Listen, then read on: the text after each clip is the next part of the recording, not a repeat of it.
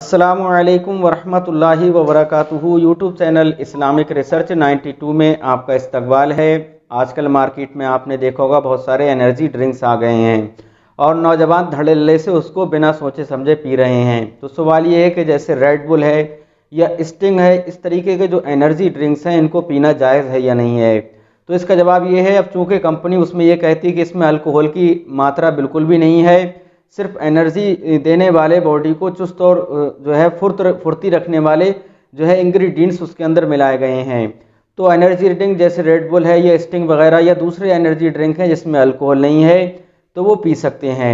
लेकिन ये बहरहाल जिसम को नुकसान देते हैं, क्योंकि उसके अंदर कैफ़ीन की मात्रा बहुत ज़्यादा होती है, जो आपकी बॉडी को अभी वक्ती तौर पर तो फ़ायदा दे देते हैं। आपका जिस्म जो है फुर्तीला हो जाता है, लेकिन आगे चलकर वो आपको नुकसान भी करेंगे।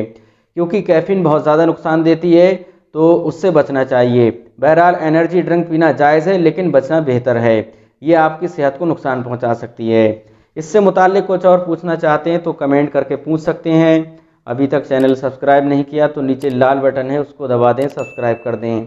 शुक्रिया, खुदा हाफिज़।